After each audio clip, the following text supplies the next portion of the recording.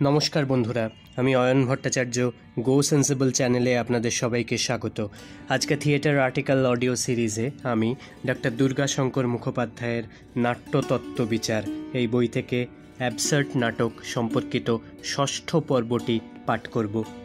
এখানে সূত্রাকারে অ্যাবসার্ট নাটকের বৈশিষ্ট্য আলোচনা করা হবে। পাঠ শুরু করলাম। বৈশিষ্ট্যগুলি পাঠ করছি। এক। অ্যাবসার্ট নাটক, প্রধানত দ্বিতীয় বিশ্বযুদ্ধোত্তর কালের ফসল। উনিশ শতকে বিজ্ঞানবাদীর যুক্তির ওপর নির্ভর করে যে বাস্তববাদী নাটকের জন্ম ও ক্রমশ যার প্রবল প্রভাব সমগ্র পাশ্চাত্য জগতে, তারই বিরুদ্ধে বিদ্রোহ করেই এ নাটকের উদ্ভব। অ্যারিস্টটলের কাল থেকে প্রবহমান নাট্যধারার বিরুদ্ধেও এদের প্রতিবাদ।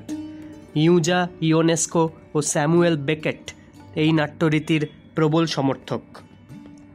দুই, এই অ্যাবসার্ট নাটকের যারা প্রবর্তক, তারা জন্মসূত্রে সকলেই বিদেশি হলেও ফরাসি ভাষায় ফ্রান্সে বসে নাটক লিখেছেন।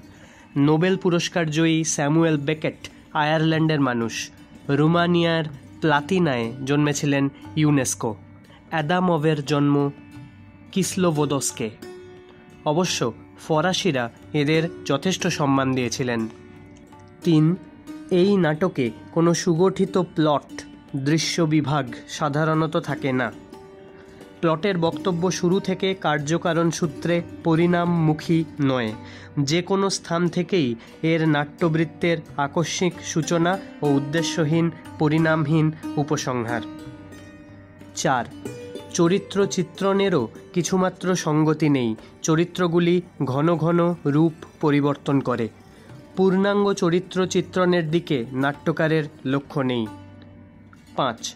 ট্র্যাজেডি, কমেডি, ফার্স ইত্যাদি নাটকের শ্রেণীবিভাগ এরা মানেন না।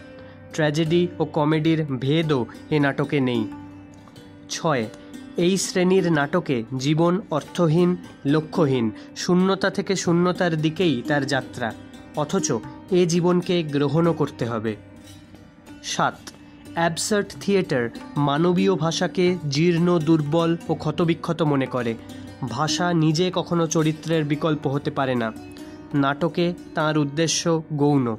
নাটকে চিত্রকল্পেরও কোনো প্রয়োজন নেই, তাই নাটকীয় চরিত্র প্রকাশক শানিত সংলাপ এখানে অর্থহীন বুদবুদ মাত্র।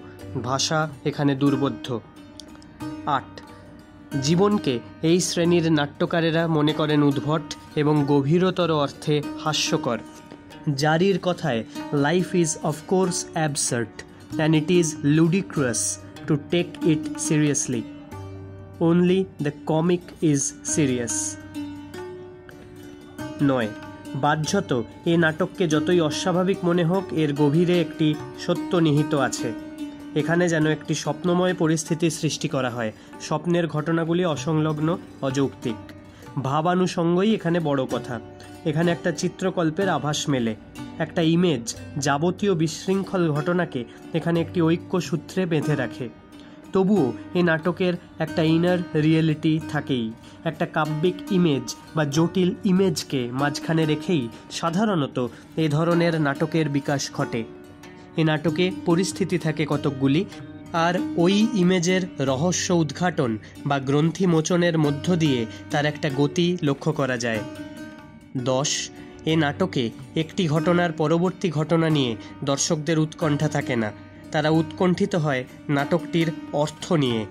শেষ যবনিকা পাতের পরেও এ প্রশ্ন জেগে থাকে দর্শকের মনে। এগারো উদ্ভট নাটকের শেষ কথাটি হল, জীবন অর্থহীন, উদ্ভট দুর্গেয় হলেও তাকে গ্রহণ করতেই হবে। আর তা নিরাসক্তভাবে, লয় সম্মানের সঙ্গে। মার্টিন এসলিনের কথায় নাটকের শেষে দর্শক হতাশ হবে না।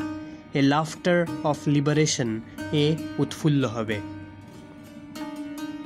বন্ধুরা, যদি আপনাদের এরকম আলোচনা পছন্দ হয়, তাহলে অবশ্যই আমাদের চ্যানেল সাপোর্ট করবেন, আমাদের চ্যানেল সাবস্ক্রাইব করবেন। এই রকম ভিডিও পছন্দ হলে এই ভিডিওটি যদি ভালো লাগে, তাহলে শেয়ার করবেন লাইক করবেন। থিয়েটারে থাকবেন, ভালো থাকবেন। ধন্যবাদ, নমস্কার।